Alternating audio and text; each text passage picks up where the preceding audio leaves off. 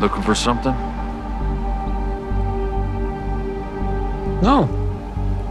I was just um, hiking nearby and I, I thought I heard people. Where's your water bottle? I don't have one.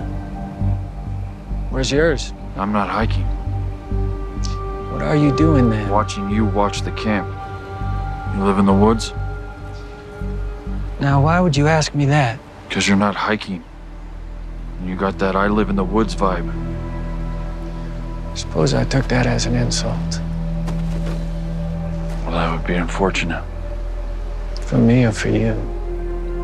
I lived in the back of a butcher shop once.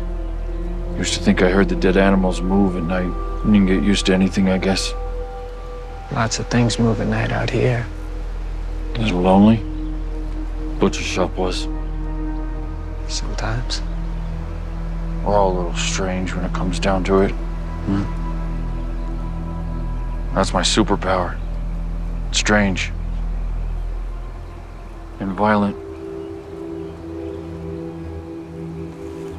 Word of advice. If you're gonna lurk around the camp, be quieter.